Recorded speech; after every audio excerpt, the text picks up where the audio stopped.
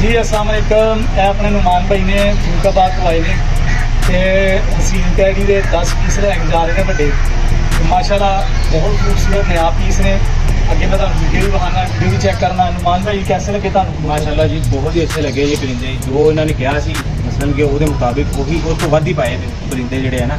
ਔਰ ਮਾਸ਼ਾਅੱਲਾ ਭਾਈ ਨਾ ਬਹੁਤ ਹੀ ਅੱਛਾ ਜਿਹੜਾ ਨਾ ਸੌਦਾ ਤੈਅ ਪਾ ਗਿਆ ਹੈ। ਔਰ ਮਾਸ਼ਾਅੱਲਾ ਜਿਹੜੇ ਨੇ ਅਸੀਂ ਪਰਿੰਦੇ ਖਰੀਦ ਲਏ ਨੇ ਨੁਮਾਨ ਭਾਈ ਨੂੰ ਇੱਕ ਗੱਲ ਮੈਂ ਕੀਤੀ ਏ ਮੈਂ ਕਿ ਨੁਮਾਨ ਭਾਈ ਲੋਕੀ ਕਹਿੰਦੇ ਥੱਲੇ ਉਤਰ ਗਏ ਤੇ ਕੋਈ ਗਾਰੰਟੀ ਨਹੀਂ ਤੇ ਮੈਂ ਤਾਂ ਮੈਨਾਂ ਕਹਿੰਦਾ ਜੇ ਬੱਚਾ ਵੀ ਮਾੜਾ ਕੱਢ ਲੈਣਗੇ ਨਾ ਉਹਦੀ ਵੀ ਗਾਰੰਟੀ ਹੈ ਇਨਸ਼ਾਅੱਲਾ ਬਿਲਕੁਲ ਜੀ, ਬਿਲਕੁਲ। ਇਹ ਹਸੀਨ ਟੈਡੀ ਦੇ ਅੱਲਾ ਦਾ ਸ਼ੁਕਰ ਹੈਗਾ ਇਹਨਾਂ ਨੇ ਆਪਣੇ ਤੋਂ ਬਹੁਤ ਅੱਛੇ ਬੱਚੇ ਕਰਨੇ ਨੇ ਤੇ ਬਸ ਤੁਸੀਂ ਸਾਰੇ ਭਰਾ ਵੀ ਆਪਣੀ ਦੁਆਵਾਂ 'ਚ ਯਾਦ ਰੱਖੋ ਅੱਲਾ।